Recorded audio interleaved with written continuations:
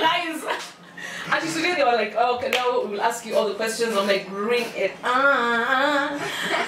So if you go back, if you could go back in time to change a significant moment of your life, that could possibly change how your life has turned out. I think it was getting married at 35. We can't hear how old? What people think is true about me, but it it isn't. Okay, so I think the first biggest thing is that Betty is mean, evil, and the most horrible employer. you even know. but sometimes you know you can't. I can't meet everybody in my life. I can't meet all my fans. I can't meet all the haters. But if, I think it's been fueled by the blogs a lot, and that's why I have BK lately because here I can say the truth about who I am.